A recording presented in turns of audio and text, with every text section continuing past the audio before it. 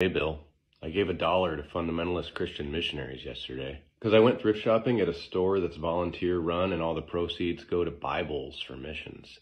I know that because the thrift store is called Bibles for Missions. Like the puzzle I'm working on, it's two cats foraging for shrooms. Apparently, very few medium sized men with 31 inch waists make donations to that store, so no clothes for me. But I did find a martini glass, which is good because I recently broke one of our last two remaining martini glasses. It was 59 cents. I brought it to the cash register, pulled out my credit card, and the lady was like, $1 minimum for credit card purchases, which makes sense. So I said, Can you just charge me a dollar? And she was very surprised.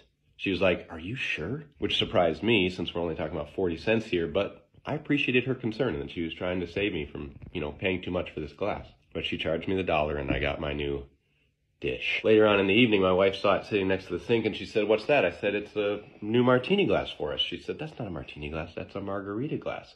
We already have those, which I didn't know. I didn't know we already had them, and I didn't know that that was a margarita glass. I don't listen to Jimmy Buffett. So I threw it away and got nothing.